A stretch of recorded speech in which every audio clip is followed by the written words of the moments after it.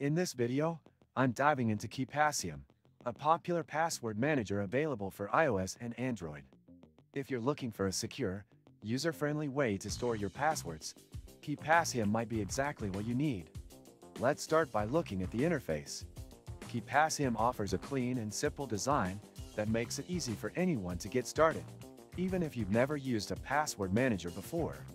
The app is built on the well-known KeePass database format, which is a big plus for users who are familiar with KeePass or have already been using it on other platforms. One of the standout features of KeePassium is its strong encryption. Your passwords are stored in an encrypted vault, which makes it nearly impossible for anyone to access your information without the master password.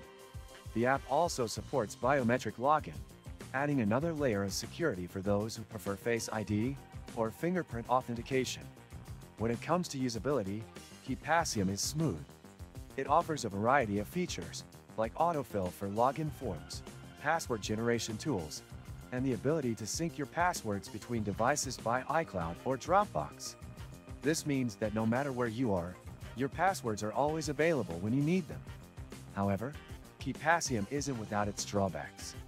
While the app does offer great security, the user interface can be a bit daunting for new users, especially if you're not familiar with the KeePass format. There's also the issue of no native support for browser extensions, which could be a deal breaker for some. Did you know people waste so much time just resetting passwords?